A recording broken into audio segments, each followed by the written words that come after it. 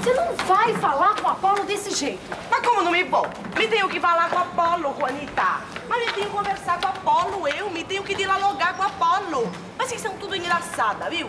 Vocês querem que eu tome uma resolução? Mas como é que eu me vou tomar uma resolução se, se eu não me posso conversar com as pessoas? Dancinha, você não vai conversar com o Apolo assim nervosa, não. Entendeu? Primeiro você precisa pensar, entendeu? As coisas não são para ser resolvidas desse jeito. Mas não me vou resolver nada, eu. Eu me quero falar pro Apolo o que eu me penso. E ele me fala pra mim o que ele se pensa. De repente a gente acaba se entendendo, né, Juanita? Eu não me quero mais ficar desse jeito dividida, viu? Tá entendendo, Juanita? Ai, tô entendendo. Então vai, então vai, Dancinha. Eu vou, eu.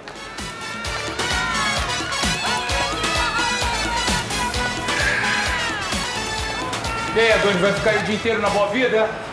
É. Vou sim, cara. Tá um calor de matar. Vai vir não também? É? Pode me dar um, manda lá.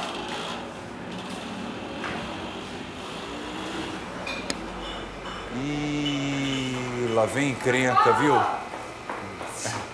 E Apolo? Ah, como vai? Oi. Tudo bem? Tudo. Apolo, eu vim dizer que eu topo. Eu vou ensinar direitinho tudo que você quiser saber. Vem cá. Oi. Oi. Nossa, que calor. Pois é. Tá, tá abafado, né?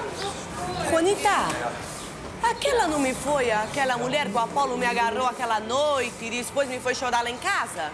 Foi. Olha aquele cachorrão.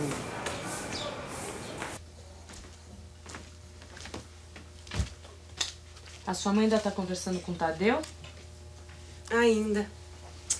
Ai, eu fico tão sem graça da minha mãe ter vindo aqui, viu? Vai ver que é porque ela conhece bem a filha que tem, né? O que que você quer dizer com isso, hein? Eu? Nada, imagina. Bom, deixa eu trabalhar, que eu tenho mais o que fazer, não posso ficar aqui batendo papo, jacaroa.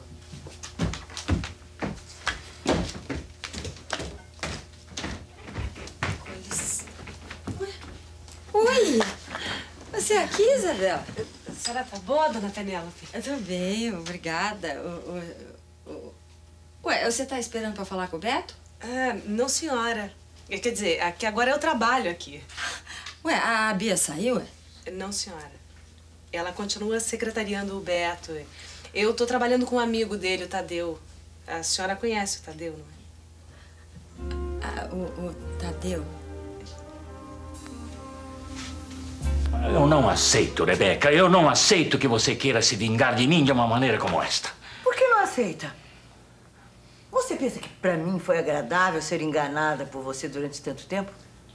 Você pensa que pra mim foi agradável ter me apaixonado por você à toa? Mas Você não se apaixonou por mim, Rebeca. Você pensava que estava apaixonada, mas isso é completamente diferente. Não é nada de diferente.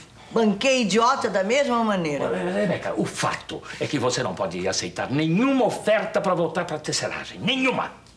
E veja, eu não estou falando isso por mim. Eu estou falando pelo futuro de todos aqueles que trabalham lá. Hum, que pensamento social!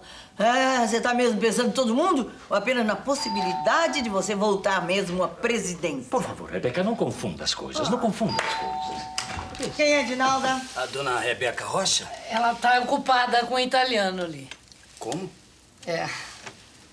Bom, É, com licença, dona Rebeca.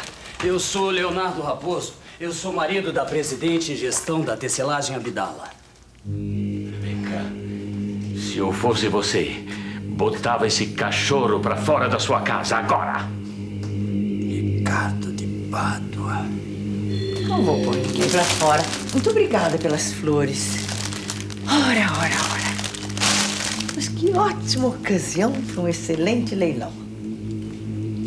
Então, vamos, cavalheiros, façam seus lances.